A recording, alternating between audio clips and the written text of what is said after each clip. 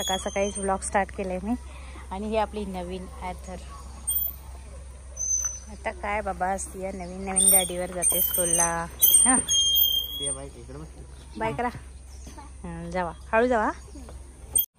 काल काय करत हं. बघा. म्हणजे. हे बघा आता मी उपवास झालाय तर अजय म्हणजे मला पण उपवास. उपवास अरे तसं नाही. थोडासा फराळ करून चालायचा चक्कर येईल मग. आणि पोरं पण मागतात त्यांना पण एक एक घास दे. किती आई पिकवाय आई आपली एवढासा गेलेला. खायची थोडा. आणि वाटायची सगळ्याला. एवढासा खायची. सगळ्याला द्यायची. हम्म. इथं आमचं बाळ बसले वरती. काय करते? खाऊ खाते? बघू बघू बघू. बघू बघू बघू. आहा. छान आहे बाई. पण ठेवायच्या कुठे? खेळवायच्या कुठे? नमस्कार स्वागत आहे तुमचं आणखी एका नवीन ब्लॉगमध्ये. आणि आज आहे घटस्थापना. सो सगळ्यात आधी तुम्हा सर्वांना घटस्थापनेच्या हार्दिक शुभेच्छा. सणवार असल्यावर कसं वातावरण एकदम प्रसन्न वाटते ना? म्हणजे असं मंगलमय. काय नेगेटिव्हिटी नाही आहेत ओन्ली पॉझिटिव्हिटी तर छान वाटते आणि त्या मम्मीने सकाळी लवकरच पूजा वगैरे केलेली. आहे. आणि आता बाकीची कामं चालू आहेत. आज उपवास पण पकडले मम्मीने. तर हे बघा आज सकाळी मम्मीने आता लवकरच पूजा केली आहे. प्रसन्न वाटते आज. हे बघा वात. आणि छानपैकी पावलं पण उठाले रांगोळी. बाहेर पण रांगोळी काढली अनन्यानी. आणि आता मला काय काम करायचं आहे आज मम्मीचा उपवास आहे. तर मम्मीला तर दूध गरम केले साखर टाकून. आता तिला देते आधी मग पुढच्या कामाला लागते.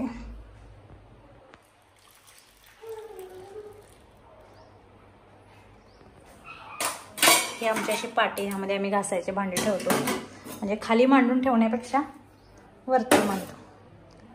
चला आता मम्मीला दूध देऊया आपण. जो उपवास आहे आता इथे बटाटा शिजत घालते मी. म्हणजे बाकीचे कामं होईपर्यंत बटाटा शिजतोय. आम्ही हे भांडं बटाटा शिजवण्यासाठी केलं आहे म्हणजे काय इकडचं एक दंडी तुटली याची अशी. मग ह्याचा दुसरा काय यूज होऊ शकत नाही. एक तर काहीतरी धुण्यासाठी भाजी वगैरे. म्हणजे कमी छोटं काय असेल धुण्यासाठी. मग स्पेशली आम्ही हे बटाटा शिजवतो ह्यामध्ये जास्त. आता बटाटा शिजतोय. तोपर्यंत मी काय करणार आहे? काल रात्री चपात्या खूप राहिल्या होत्या. म्हणजे त्याचं तुकडं करून ठेवले. आणि आता मी इथं कांदा घेतला आहे आणि आता कांदा चिरून आणणार. आणि मग त्या कढईमध्ये तुकडं ग- गरम करणार.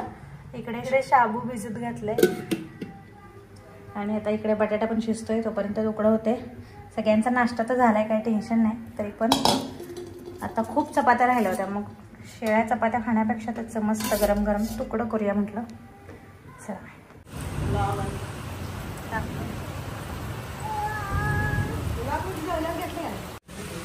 पाऊस बघा इथंपर्यंत आलाय सगळा. अर्धा पोर्च आहे आणि एवढं ढग वाजते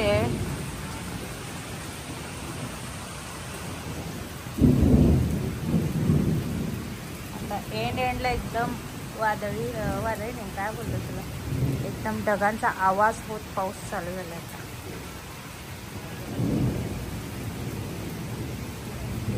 इथे आमच्या इथे मंडप आहे बघा. ते खेळतात गरबा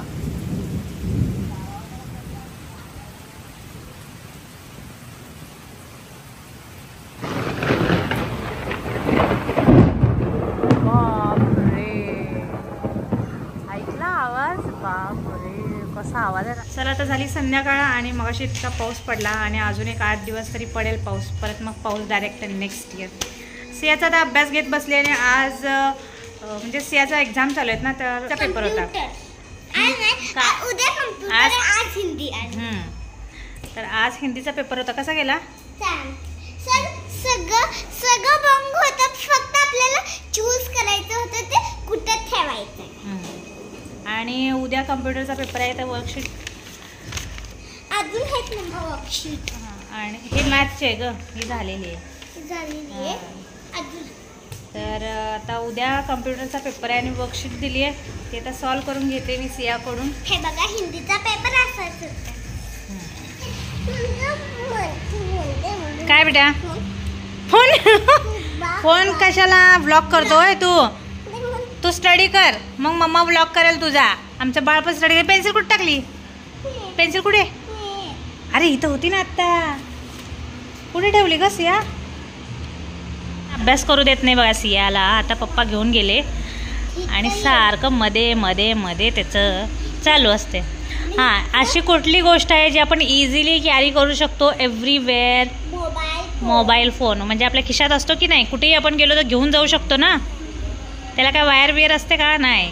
त्यामुळे इझिली आपण काय करू शकतो? घेऊन जाऊ शकतो कॅरी करू शकतो. हां? Second question dash dash is use to type our name dash mobile phone तर फर्स्टमध्ये गेला. राहिले काय काय तीन ऑप्शन स्पेस बार माऊस आणि कीबोर्ड मग नाव टाईप करायला काय लागतं? कीबोर्ड कीबोर्ड त्याच्यावर लेटर्स असतात ना? त्यामुळे keyboard now next dash dash has a scroll wheel scroll wheel काय असतं? असं छोटंसं व्हील असतं. आपण स्क्रोल करू शकतो खालीवर खालीवर कम्प्युटरनी mouse mouse very good and now last one dash dash is use to give a gap between two words दोन वर्ड्समध्ये गॅप द्यायचा असेल तर ते बटन दाबतात. त्या बटनला काय म्हणायचं? स्पेस बार स्पेस देतो ना दोन वर्डमध्ये त्यामुळे bar. स्पेस बार समजला?